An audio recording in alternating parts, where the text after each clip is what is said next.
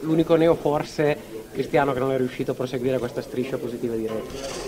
Ma eh, non, ha, non, ha, proseguito la striscia positiva di reti, ha fatto soprattutto un bel secondo tempo tecnico perché ha giocato diciamo, senza l'ossessione del gol, infatti il secondo tempo gli è capitato 3-4 palle importanti tra cui il rigore. Il primo tempo invece abbiamo sbagliato diverse situazioni perché abbiamo avuto troppa fretta, cosa che invece il secondo tempo non abbiamo avuto. Inizio su Dybala che è riuscito a svariare per tutto il campo con tanta qualità. Ha fatto una partita importante, credo una delle migliori sotto l'aspetto tecnico. Eh, Paolo sta crescendo molto, deve proseguire su questa strada che lo porterà secondo me a diventare un giocatore straordinario e comunque i gol li farà sempre perché comunque fino ad ora le occasioni le ha avute. È normale che in questo momento deve trovare un equilibrio eh, dentro se stesso dove eh, non deve essere ossessionato al gol perché comunque alla fine della stagione 10-12 gol li farà. Grazie. Abbiamo visto Spinazzola bene negli ultimi minuti, rimane?